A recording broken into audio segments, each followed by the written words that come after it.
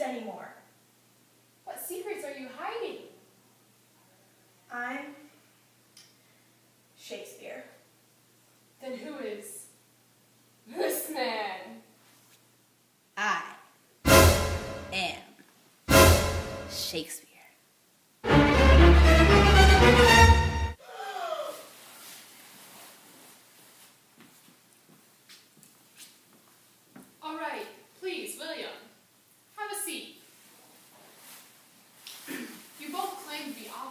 Shakespeare's works, but which one of you is actually the author? I wrote all of my stories. No, I wrote them. Those first eight plays were published anonymously. Some saying they were produced by Pembroke's Men, which is the acting company that my husband and I sponsored. That doesn't prove anything. You're just a cotton-headed ninnymuggins. Because of my high status and strong connections, I could easily sneak my plays in to be produced.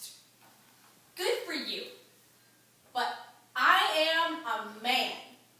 So I am more powerful than you, and anything that I say will be believed over what you say. Plus, women can't have their plays pub- published in a public theater. You're right. That's why I didn't use my own name. It doesn't mean I'm not educated enough. Okay, just, just calm down, it's okay. There's no real documentation or proof that either of you wrote the works. I know, but there is proof that I'm a writer, unlike some people. I have my signature on every single play that I've written. But all your signatures are different. It's still my name. It wouldn't be hard for somebody to copy your signature. Each time I tried to copy it, it came out different because it's not my own. So, Mary, what got you started in writing? Well, my brother Philip was a poet and a big influence on my writing. In fact, when he died, I took over his role as the center of the Wilton Circle, a distinguished literary group. What does that have to do with anything? Why don't you talk to him for yourself? Hello, Philip. Hello. Hello, sister. Hi, Philip. Hello, Shakespeare. yeah. Mary here. She's an amazing writer. Helped me translate the songs I already started. That's why her plays made the theaters. Okay, thanks, Philip. See you later. No problem. Thank you, Philip. Well, William, do you have anything to add to this enlightening interview? All of my plays were original. Yeah, that's why all the topics in your play showed up in my life. Okay, like what? Hawking, hunting, languages. That's geography, enough. That's enough. Needlework, alchemy, history, politics, my education in medicine, and my hair. Calm down, hurry! Bring in Mary's mother!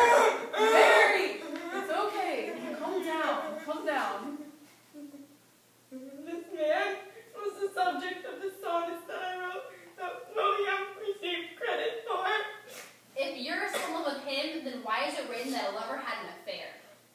Because at one point I thought he was having an affair with my niece Mary Wroth, who was dark-haired and dark-eyed, but it turns out she was having an affair with my eldest son, not my lover Matthew. That's right. We know we can never marry because of the difference in our social status. I would never cheat on you. Is this true, William?